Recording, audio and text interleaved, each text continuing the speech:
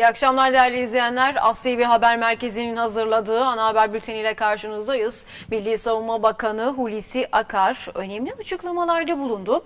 Bakan Akar F-35 olmuyorsa hür kuşu yaptık. Kendi milli muharip uçağımızı da yaparız, yapacağız dedi. Patriot olmuyorsa siperi yapıyoruz. Kendi hava savunma sistemimizi daha da geliştireceğiz. Bundan kimsenin şüphesi olmasın diye ekledi.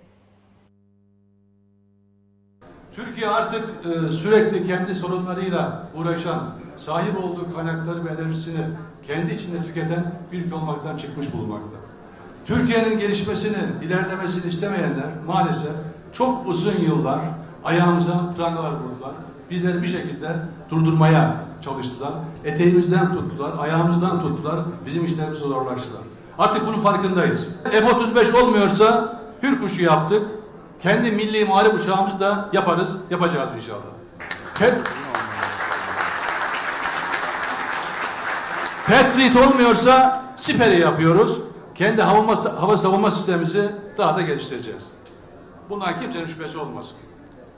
Sayın Cumhurbaşkanımızın Kınalarda korvetinin tesliminde de ifade ettiği gibi uçak gemimiz dahi hepsini yapmakta kararlı olduğumuzu bunu herkes tarafından bilinmesini de bir kez daha burada altını çizerek huzurlarınızı ifade etmek istiyorum.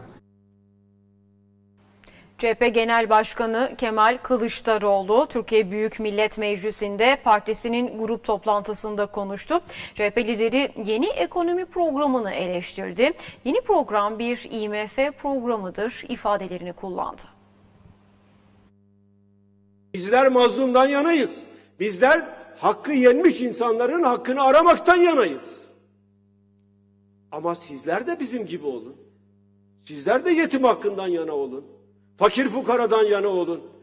Ödenen vergilerin hesabının verilmesinden yana olun. Memlekette demokrasi böyle olur. Kafamızı, beynimizi, aklımızı birilerine kiraya veremeyiz. CHP Genel Başkanı Kemal Kılıçdaroğlu partisinin grup toplantısında böyle konuştu. Yeni ekonomi programını değerlendiren CHP lideri işsizlik üzerinden de hükümeti eleştirdi. Yeni ekonomi programı açıklandı. Kaçıncı program? Neredeyse ayda bir program açıklanıyor. Her programdan sonra fiyatlar yükseliyor. Her programdan sonra işsizlik artıyor. Her programdan sonra yeni zamlar kapıya dayanıyor. Ne program Allah aşkına? Damada vermişler bir metin, çık bunu anlat diye. Damat ne anlar işsizlikten? Damat ne anlar yoksulluktan? Damat ne anlar fakir fukaralıktan? Geçen yıl büyüme oranı, hedefledikleri büyüme oranı yüzde iki nokta üçtü. Yeni açıkladıkları büyüme oranı binde beş. Binde beş. Daha bir yıl geçti aradan. Çünkü IMF diyor ki böyle yapacaksın diyor. İşsizlik yüzde on iki nokta birdi. Şimdi genç, genç işsizlik yüzde yirmi beşe dayandı. IMF için kişinin işsiz olup olmamasının hiçbir önemi yok. Hiçbir önemi yok. Bunlar için de hiçbir önemi yok. Çünkü bakıyor sarayda hiç kimse işsiz değil. Eylül ayı ihracat rakamları açıklandı. Ticaret Bakanı Ruhsar Pekcan, Eylül ayında ihracatımız geçen sene Eylül ayına, ayındakine göre güçlü performansın üzerine çıkarak 15 milyar 220 milyon dolar olarak gerçekleşmiştir dedi. İçinde bulunduğumuz süreçte esasen bütün dünya çalkantılı bir dönemden geçiyor. Ama çok şükür ki Türkiye bir e, dengelenme süreci içine girmiş bulunmaktadır. Daha dün Dünya Ticaret Örgütü e, dünyadaki ticaret hacmini e, yüzde iki onda altı olarak revize etmişti daha önce. Dün bunu bir onda ikiye düşürdü. Yüzde elliden fazla bir düşme dünya ticaret hacminde. Ticaret Bakanı Ruslar Pekcan Mersin'de düzenlediği basın toplantısında böyle konuştu. Pekcan Eylül ayı ihracat verilerini açıkladı. Eylül ayında ihracatımız geçen sene Eylül ayındaki güçlü performansın üzerine çıkarak 15 milyar 220 milyon dolar olarak gerçekleşti dedi.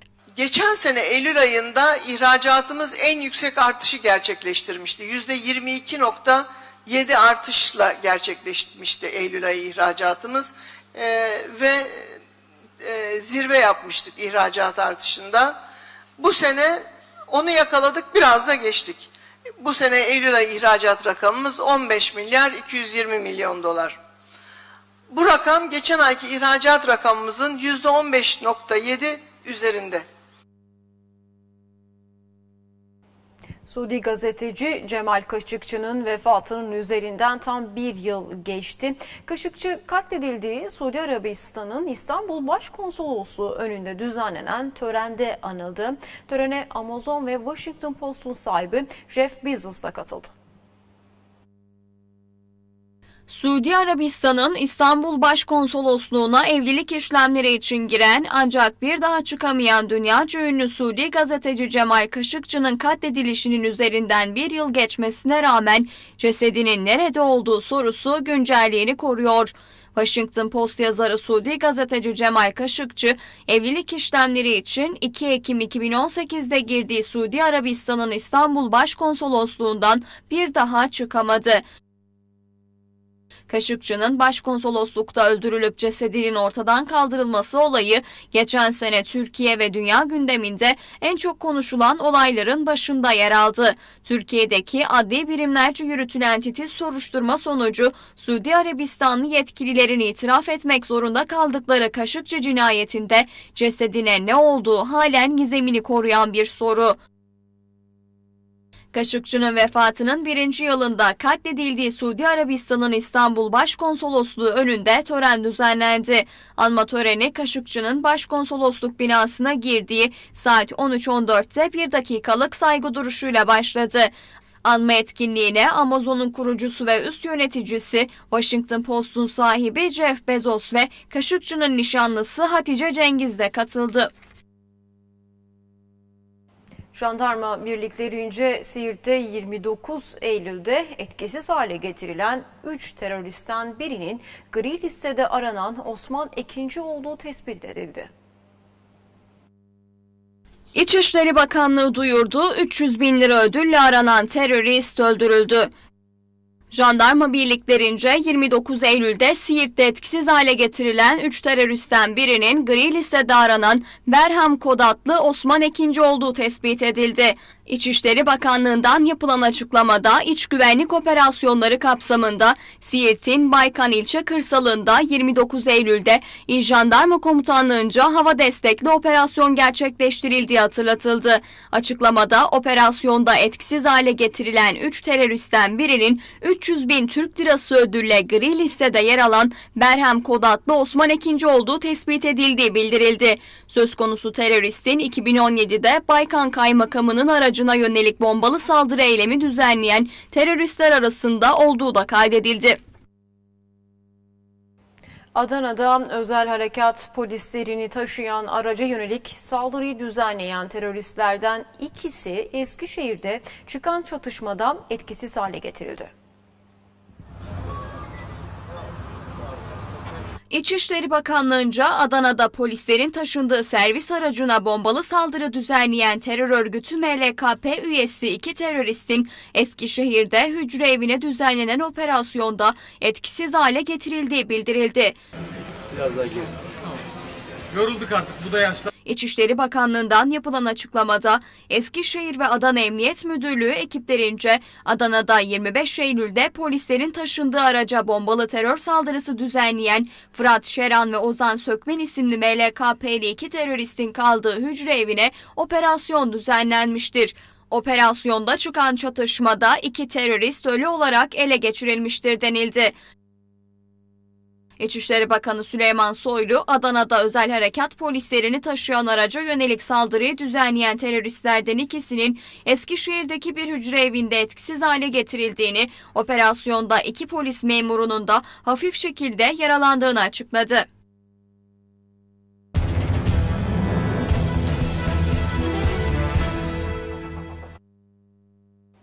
Bursa'nın Gemlik ilçesinde belediye başkan yardımcısı Zeynep Şentürk silahlı saldırgan tarafından rehin alındı.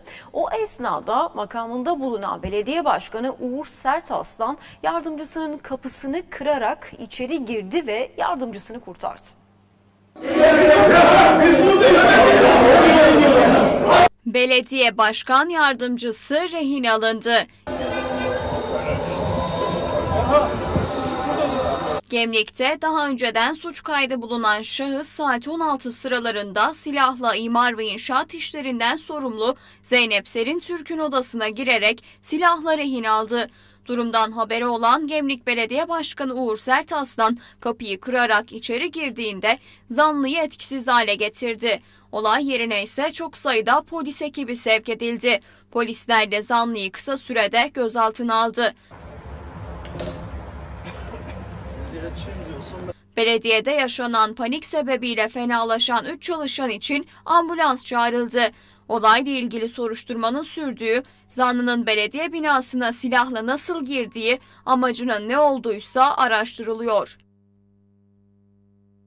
Bursa Cumhuriyet Başsavcılığı tarafından FETÖ-PDY ile bağlantılı oldukları tespit edilerek haklarında yakalama kararı çıkarılan aralarında 6 polisin de bulunduğu 19 kişi gözaltına alındı. Gözaltına alınan şahıslardan işlemleri biten 9 kişi adliyeye sevk edildi. Bursa Cumhuriyet Başsavcılığı Fethullahçı terör örgütü paralel devlet yapılanmasına yönelik yürütülen soruşturma kapsamında örgütle bağlantılı oldukları tespit edilen 24 kişi hakkında yakalama kararı çıkarttı. Kararın ardından ekipler şahısların adreslerini tespit ederek operasyon için düğmeye bastı. Sabah saatlerinde Bursa merkez olmak üzere Çanakkale, Eskişehir, Konya, Kütahya ve Malatya'da çok sayıda adrese eş zamanlı baskın yapan ekipler biri emekli, 5'i ihraç, 6 polis memurunun da bulunduğu 19 kişiyi gözaltına aldı. Gözaltına alınan 19 şahıstan 9'u emniyetteki işlemlerinin ardından adli makamlara sevk edildi. Bursa'da bir dolandırıcı turist gibi girdiği kuyumcuda altın kaplamalı sahte zinciri 16.200 liraya bozdurarak ortadan kayboldu. Zincirin sahte olduğunu sonradan fark eden kuyumcu ise soluğu polis aldı. Yes. Them. Turist gibi girdi, sahte zinciri bozdurup ortadan kayboldu.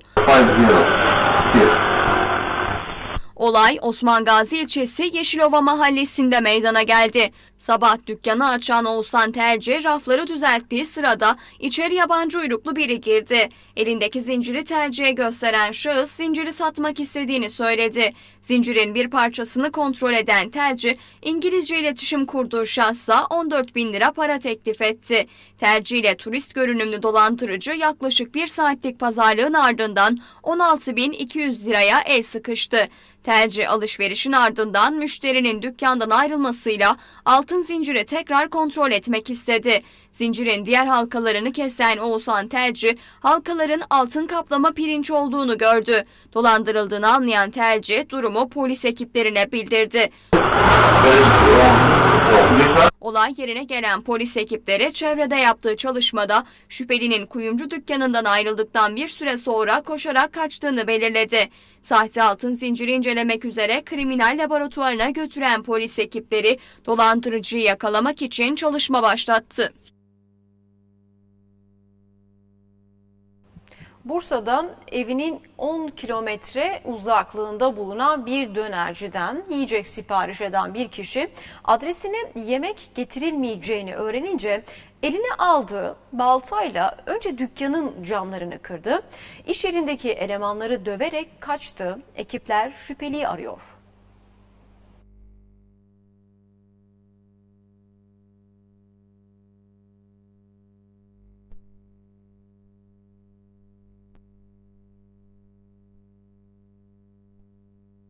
...50 lira için cinayet işleyen sanık dehşete düşürdü.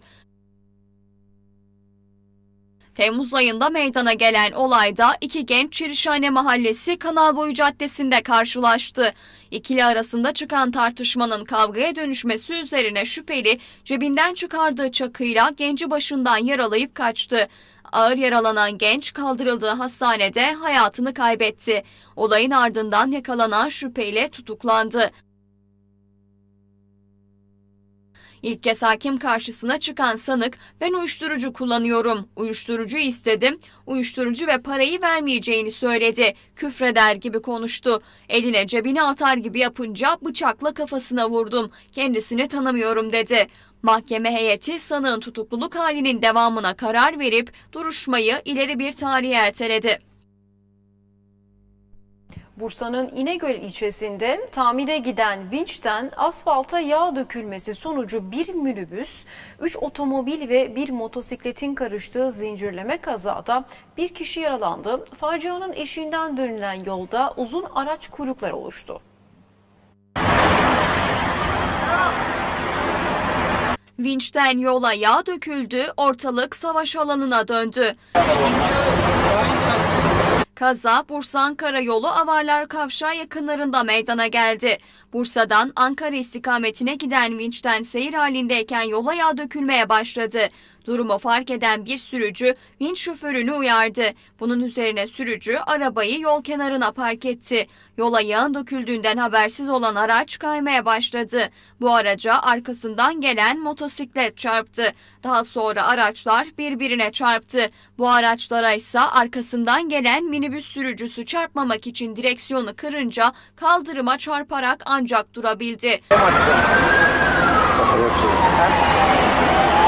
Ortalığın savaş alanına döndüğü ana yolda 3 otomobil, bir motosiklet ve bir minibüste maddi hasar meydana gelirken motosiklet sürücüsü kaza sonucu yaralandı. Yaralı sürücü sağlık ekiplerinin ilk müdahalesinin ardından hastaneye kaldırıldı. Yolda uzun araç kuyrukları oluştu. Bursa'da köpeklerden ürküp karayoluna kaçan manda ve iki yavrusuna kamyon çarptı. Kazada anne manda ve bir yavrusu telef oldu. Diğer yavru mandanın ise ayakları kırıldı. Kamyonun çarptığı mandalar telef oldu. Olay gece saat 1 sıralarında İznik Orhan Gazi Karayolu Çakırca Köprüsü mevkiinde meydana geldi.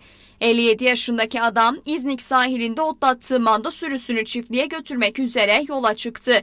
Geç saatte çiftliğin yolunu tutan manda sürüsü civardaki köpeklerin havlamaları üzerine ürküp sağa sola kaçıştı. Sürüden ayrılan bir anne manda ve iki yavrusu karayoluna çıktı. O sırada İznik istikametinden gelen sandık yüklü kamyon sürücüsü gece karanlığında mandaları fark etmeyerek çarptı. Kazada mandalar yolun iki tarafındaki tarlalara savruldu. Anne manda ve bir yavrusu telef oldu. Diğer manda yavrusunun ise ayakları kırıldı. Kamyonda maddi hasar meydana geldi. Kazayı haber alan sürü sahibi Feridun Yağcı hayvanlarını üzülerek zararın 15 bin lira olduğunu söyledi. Polis kazayla ilgili soruşturma başlattı. Bursa'da tarlada çalışan iki kadın yılan buldu. Kadınlar e, ardından korkusuzca yılanla dans etmeye başladı.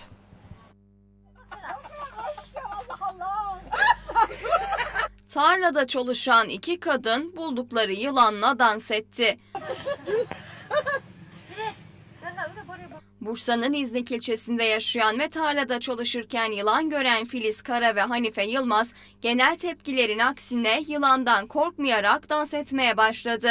Yaklaşık 2 metrelik yılanla dans ettikleri anlar bir cep telefonu kamerasıyla kaydedilirken görüntüleri izleyenler hayrete düştü. Yılanı ellerine alan ve eğlenen iki kadının cesareti herkesi şaşırttı.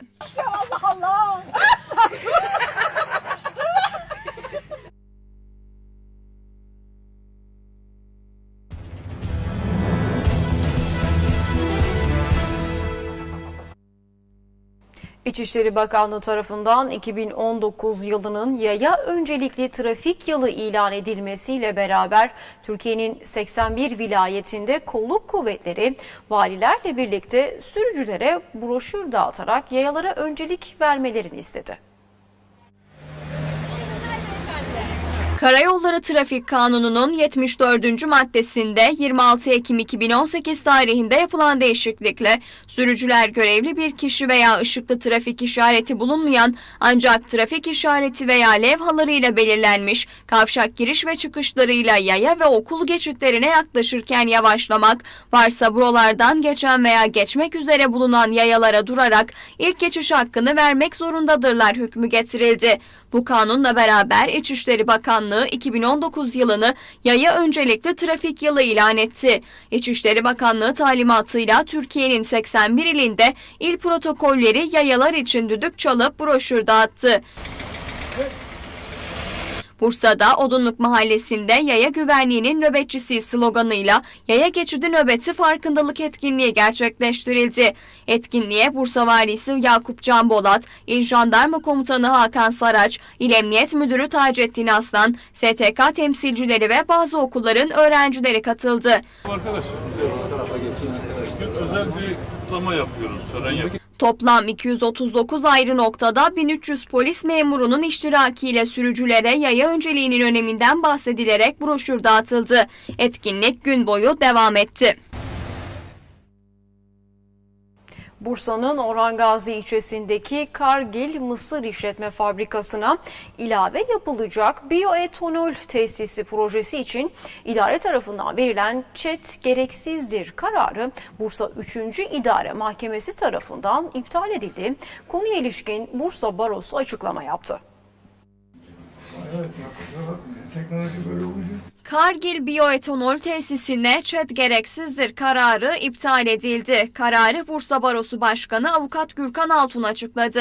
Bursa Barosu'nda düzenlenen basın açıklamasında konuşan Altun, Kargil biyoetanol tesisi için çevresel etki değerlendirmesi yönetmeliği gereğince hazırlanan proje tanıtım dosyasının İznik Gölü'ndeki balık türleri, sulak alanı ve çevresel faktörler açısından yetersiz bulunduğunu söyledi. Bu karar şimdiye kadar alınan ve uygulanmayan ve ahim tarafından da haklılığı onaylanan mahkeme kararlarının doğruluğunu bir kez daha tescil etmiştir. Bundan önce verilen izin ve ruhsatların yaşam hakkı, su kaynakları, canlı ve bitki çeşitliliği ve gerekse de Bursa ilinin ve özellikle de ulusal öneme haiz sulak alan olarak tescil edilen İznik Gölü'ne yakın olan projenin uygulanacağı tarımsal alanın önemi ve hassasiyeti dikkate alınmadan hukuka aykırı olarak verildiğini bir kez daha gözler önüne sermiştir. Ayrıca Bursa Barosu Başkanı Altun icra müdürlükleriyle ilgili de açıklama yaptı. Altun, bilindiği üzere yeni adli yılla birlikte bölge adliye mahkemesi için yapılan binamıza merkez adliyemizin de bazı birimleri taşındı. Taşınma hazırlıkları yapılarak kısmen gerçekleşti. Tavan çökmesi olunca taşınma durduruldu diye konuştu. Çevre ve Şehircilik Bakanlığı'nca hazırlanan Milli Emlak Genel Tebliğinde değişiklik yapılmasına dair tebliğ resmi gazetede yayımlandı.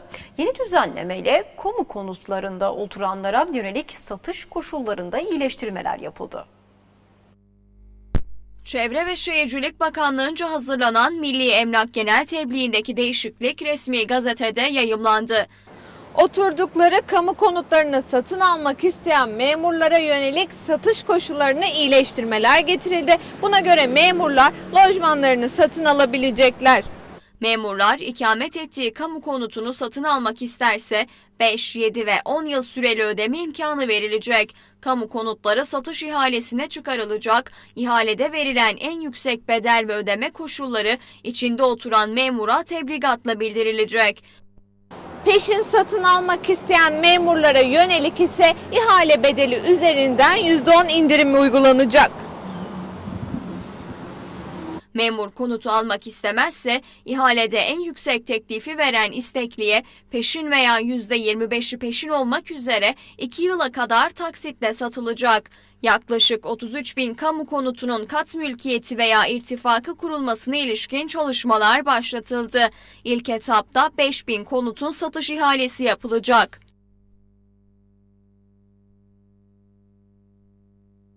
Bursa'da eğitim veren Gemlik Mesleki Eğitim Merkezi'ne giden öğrenciler haftada bir gün okula gidiyorlar. Hem de dört gün iş yerinde çalışarak mezun oluyorlar. İş güvenliğinde hepiniz bir iş yerinde çalışıyorsunuz. Mesleki eğitim merkezleri 2019-2020 eğitim ve öğretim yılında yeni bir eğitim sistemine geçti. Yeni çıkan kanunla birlikte mesleki eğitim merkezleri lise diploması vermeye başladı. Eskiden sadece kalfalık ve ustalık belgesi veriliyordu.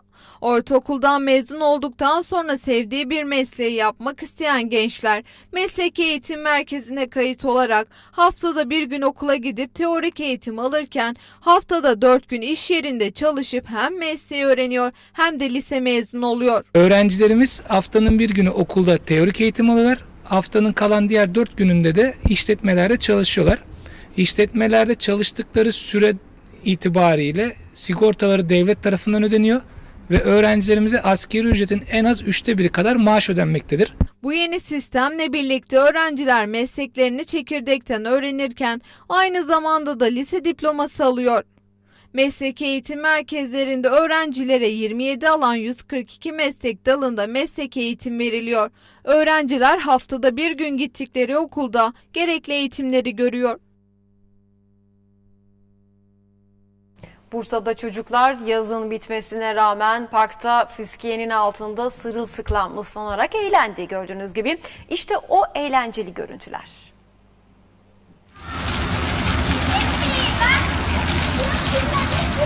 Nilüfer ilçesindeki Atapark'ta su fışkırtan fıskiyelere gelen çocuklar sonbahar olmasına rağmen sıcak havanın keyfini çıkarttı. Çocuklar parkta fıskiyelerden akan suyun altında koşarak ıslandı. Suyun altına serinlemek için değil, eğlenmek için girdiklerini belirten çocuklar hasta olmaktan korkmadıklarını söyledi.